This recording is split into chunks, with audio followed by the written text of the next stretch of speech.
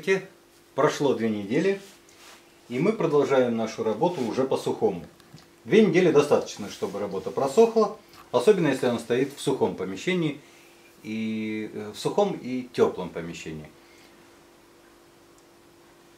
Некоторая все-таки степень просыхания должна произойти, чтобы, чтобы э, вот в этом сеансе краска не поднималась оттуда.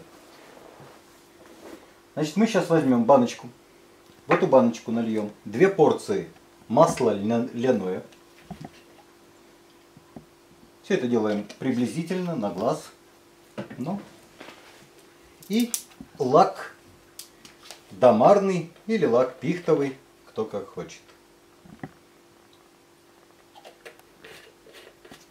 Лак не даст маслу быть слишком скользким. Масло не даст лаку быть слишком терпким. Протрем штриховательно. Посмотрите, я постоянно промакиваю кисть, для того, чтобы лишнего не налить. Не то, чтобы от лишнего нельзя избавиться, но, как показала практика, практически все, кому я даю выполнить эту задачу на очных уроках, сразу начинают поливать. Вот так. Нет, поливать не надо. Мало того, вы видите, я захожу как бы сверху. Чтобы не по кисти текло, потому что течет, потому что очень э, вещество текучее у нас в баночке. И оно, естественно, хочет течь. И руке от этого становится неприятно. А, когда художнику не очень приятно в руке держать инструмент, это тоже нехорошо.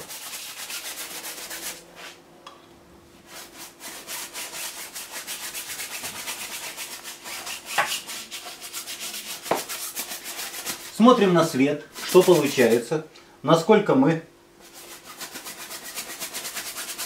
полностью все места протерли.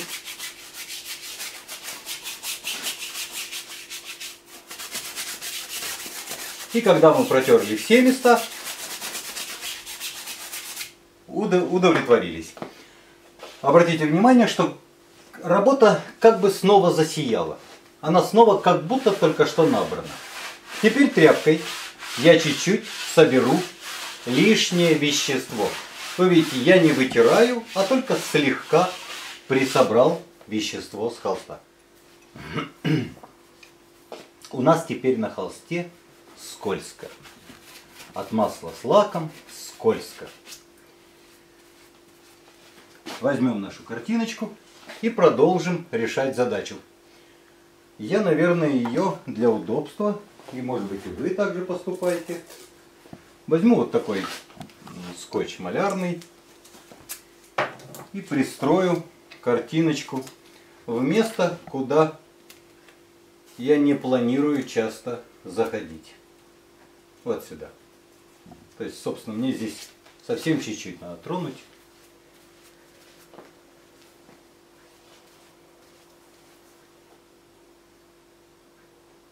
Можно начать с малых деталей прорисовку, можно начать с крупных. Ну вот чего-то чего-то мне хочется начать с крупных.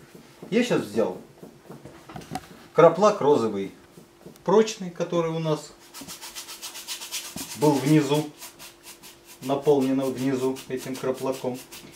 И обратите внимание, что по мере того, как я вот этот слой прозрачный кладу, вся поверхность, вся поверхность красного становится только красным. После первого сеанса ее краснота была э, красноте было подмешан, вы помните, и синий, и, и коричневый. А сейчас я буквально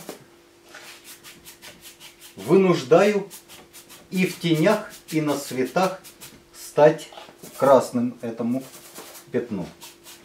То есть все черноты краснят теперь. Вот такая нехитрая задача. Тем не менее, красное пятно становится настойчиво красным, выразительно красным. Оно теперь иное, чем остальные пятна.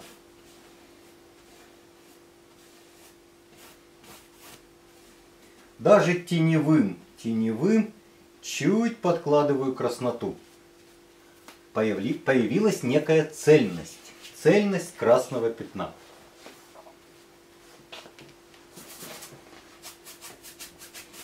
И э, даже светлые места от того, что э, по ним прошлась краснота сверху, они как бы загорелись. Э, появился как бы двойной слой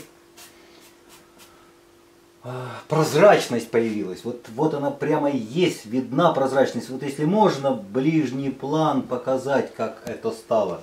И заодно показать, ближним планом показать, как красно стало в тенях.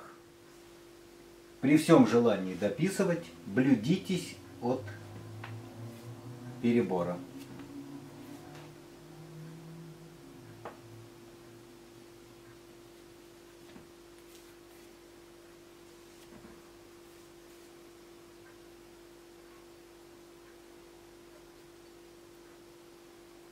При том, что я пытаюсь повторить все загогулинки, которые, э, с которыми сталкиваюсь, но без, фанатизм, без фанатизма. Здесь портретное проявление каждой загогулинки не важно. Свет-тень, да, это, конечно, должно быть обозначено в полную меру с полной внятностью. А рисунок загогулинок может быть несколько произвольным. И все, что я в первом сеансе сделал не точно, я просто обыгрываю уже под эту работу, а не пытаюсь повторить все подробности оттуда.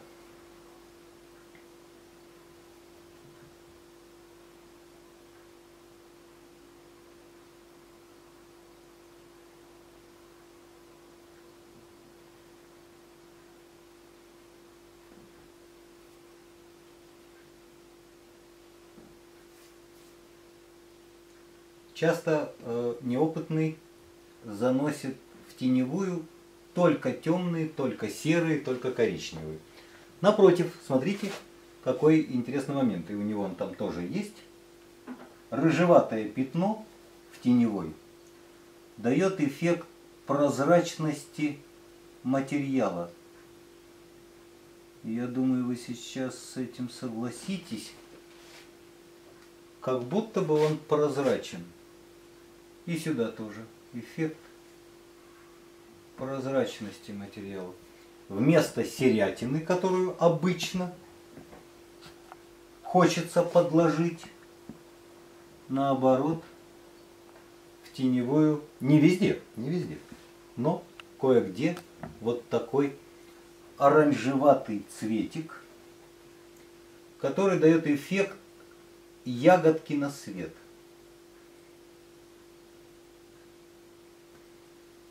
Посмотрите, даже вот здесь оранжевость, тень с оранжевостью тоже дает эффект прозрачного. То есть научаемся этим хитростям живописи. О, сейчас хочу обратить ваше внимание, что в некоторых местах перебор масла, многовато его там оказалось, стал подтекать и создавать некоторые канавки. Вот, вот здесь видны канавочки. То есть масло подтекло и создало несколько канавочек. То есть либо я маловато лака налил, либо вот в конце работы такие вещи чуть-чуть поправляем, чтобы они, ну, сбить эту канавистость. И оставить сушить лучше, конечно, горизонтально, хотя бы до завтрашнего дня.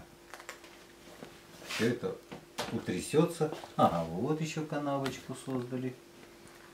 И тряпочкой стоило еще более протереть лишнее вещество. То есть со временем этот опыт появляется, и вы уже чувствуете, в какую меру это произвести. Вот еще одна канавочка. То есть поубирали их, и все, и нет проблемы. Еще у нас, э, значит, вы поняли, что в следующий сеанс вы можете э, все тоже произвести, но с еще большей уточняемостью. Эта уточняемость может расти и расти. Главное не пересушить картину. Есть места, которые трогать вообще больше не надо. Ну, на мой взгляд, цвет, цветок не надо. Какой-нибудь этот лепесток не надо. Какой-нибудь этот не надо. А какой-нибудь этот может еще пописать.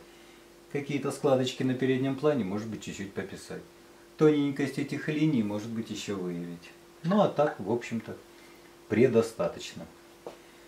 Так, и подпись у нас, чтобы э, цве, э, вещество масла не разжижало и не растворяло в себе тоненький слой краски. Вот мы берем, посмотрите, с разбавителем малую меру красноты, ну, поскольку здесь краснота уместна для подписи, вытер кисть, взял на кончичек вот такую маленькую культурную мерку и уже ею совершить совершить подпись. Вот такое что-нибудь. И до следующих встреч.